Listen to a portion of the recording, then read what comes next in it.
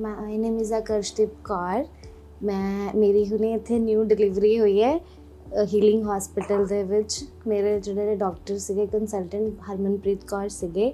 ਮੈਂ ਪਹਿਲਾਂ ਖਰੜ ਚ ਦਿਖਾ ਰਹੀ ਸੀਗੀ, ਜਿਹੜੇ ਮੇਰੇ ਲਾਸਟ ਕੰਸਲਟੈਂਟ ਸੀਗੇ। ਆਈ ਵਾਸ ਨਾਟ ਸੈਟੀਸਫਾਈਡ ਵਿਦ ਹਰ ਮਤਲਬ ਜਿਹੜੀ ਵੀ ਮੇਰੀਆਂ ਕੁਐਰੀਜ਼ ਹੁੰਦੀਆਂ ਸੀ, ਉਹ ਵਿੱਚ ਰਹਿ ਜਾਂਦੀਆਂ ਸੀਗੀਆਂ।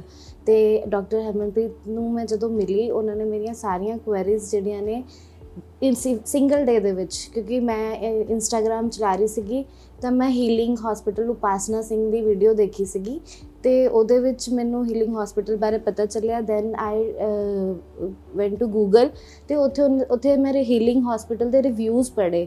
ਸਾਰੇ ਹੀ ਹਰ ਰਿਵਿਊਜ਼ ਜਿਹੜਾ ਸੀ ਪੋਜ਼ਿਟਿਵ ਰਿਵਿਊ ਸੀਗਾ, ਤਾਂ ਮੈਂ ਕਾਲ ਕੀਤਾ, ਉਹਨਾਂ ਨੇ ਮੈਨੂੰ ਵਿਜ਼ਿਟ ਕਰਨ ਲਈ ਕਿਹਾ, ਫਿਰ ਮੈਂ ਵਿਜ਼ਿਟ ਕੀਤਾ, ਤੇ ਉਹਨਾਂ ਨੇ ਮੈਨੂੰ ਹਰਮਨਪ੍ਰੀਤ ਮੈਮ ਨਾਲ ਮਿਲਵਾਇਆ। ਤੇ ਜਦੋਂ ਉਹਨਾਂ ਨਾਲ ਮਿਲੇ ਤੇ ਉਹਨਾਂ ਨੇ ਮੇਰੀ ਜਿਹੜੀਆਂ 9 ਮੰਥਸ ਦੀਆਂ ਕੁਐਰੀਜ਼ ਸੀਗੀਆਂ, ਉਹਨਾਂ ਨੇ ਸਿੰਗਲ ਇੱਕ ਸਿੰਗਲ ਡੇ ਇੱਕ ਸਿੰਗਲ ਵਿਜ਼ਿਟ ਦੇ ਵਿੱਚ ਮੇਰੀਆਂ ਸਾਰੀ ਕੁਐਰੀਜ਼ ਰਿਜ਼ੋਲਵ ਕੀਤੀਆਂ।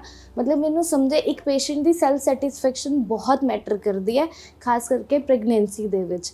ਤੇ ਉਹਨਾਂ ਨੇ ਹਰ ਇੱਕ ਪੁਆਇੰਟ ਤੇ ਔਰ ਇੱਕ ਫੈਮਿਲੀ ਮੈਂਬਰ ਮੈਂ ਕ- ਇਹ ਵੀ ਕਹਿਣਾ ਚਾਹੂੰਗੀ ਕਿ Harman ma'am all time present ਹੈ।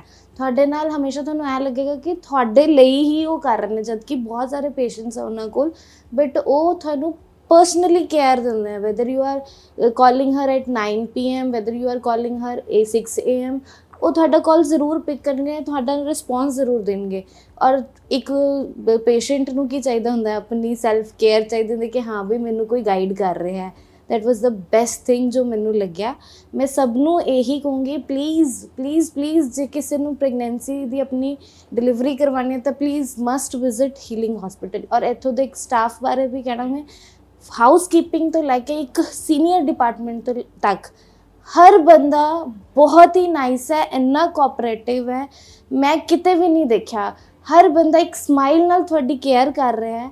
ਬਸ ਅ- ਮਤਲਬ ਮੇਰੇ ਕੋਲ ਵਰਡਸ ਹੀ ਨਹੀਂ ਹੈ। ਮੈਂ ਕਹਿ ਰਹੀ ਹਾਂ ਕਿ hats off to full staff ਕਿ ਜੋ ਇੱਥੇ ਕੰਮ ਕਰ ਰਹੇ ਨੇ ਨਾ, ਬਹੁਤ ਮੈਂ ਕਦੀ ਨਹੀਂ ਦੇਖਿਆ ਕਿਸੇ ਨੂੰ ਕਿ ਇਸ ਤਰੀਕੇ ਨਾਲ ਹਰ ਬੰਦੇ ਦਾ ਜਿਹੜਾ ਇੱਕ ਦੁੱਖ ਹੈ, ਇੱਕ ਸਮਾਈਲ ਦੇ ਨਾਲ ਉਹਨੂੰ ਕੇਅਰ ਕਰ ਟੇਕ ਕੇਅਰ ਕਰ ਰਹੇ ਉਹਦੀ ਕਿ ਹਾਂ ਵੀ ਕੋਈ ਕਿਸੇ ਨਾਲ ਮਤਲਬ ਜਿਵੇਂ ਮੈਂ ਬਾਕੀ ਹਸਪੀਟਲ 'ਚ ਚਿੜਚਿੜਾਪਨ ਦੇਖਿਆ ਇੱਕ ਵੀ ਬੰਦਾ ਹਾਊਸਕੀਪਿੰਗ ਵਾਲਾ ਵੀ ਨਹੀਂ ਐ ਕਰਦਾ ਹੈਗਾ ਕਿ ਹਾਂ ਵੀ ਇੱਕ ਉਹਦੇ 'ਚ ਕੀ ਹੈ, ਉਹਨਾਂ ਨੇ ਆਣਾ, ਤੁਹਾਨੂੰ ਵੀ ਕਲੀਨ ਕੀਤਾ, ਤੁਹਾਡੇ ਬੇਬੀ ਨੂੰ ਹਰ ਚੀਜ਼ ਹਰ ਚੀਜ਼ ਕਲੀਨਲੀਨੈਸ ਕਹਿ ਲੋ ਲਗਜ਼ਰੀਅਸ ਚੀਜ਼ਾਂ ਕਹਿ ਲੋ ਹਰ ਚੀਜ਼ ਤੇ ਸੁਪਰ ਹੈ।